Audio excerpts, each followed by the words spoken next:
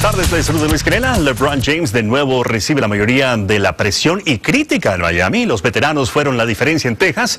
En Anaheim, Albert Pujols ayudó con una blanqueada y los Rockies celebran como si acababan de ganar la Serie Mundial en San Francisco.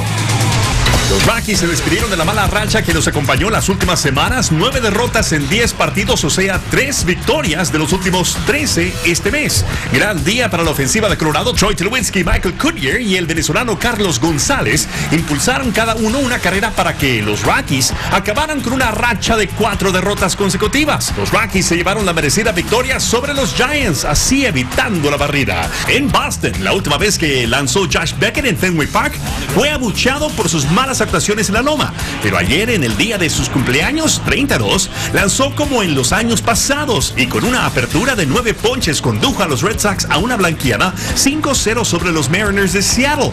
Boston estiró a 5 su racha de victorias. David Ortiz sacudió su octavo jonrón de la campaña.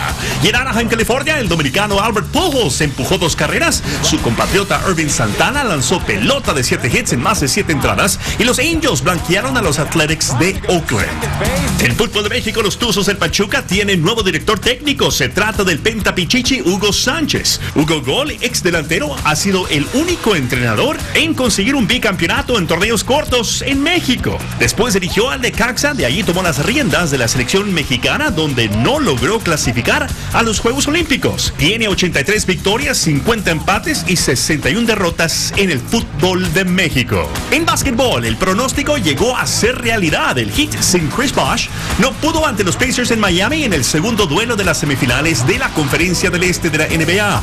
David West con 16 puntos para Indiana, LeBron James anotando 28 puntos para Miami, mientras que Dwayne Wade terminó con 24, pero ambos no estuvieron finos en la recta final.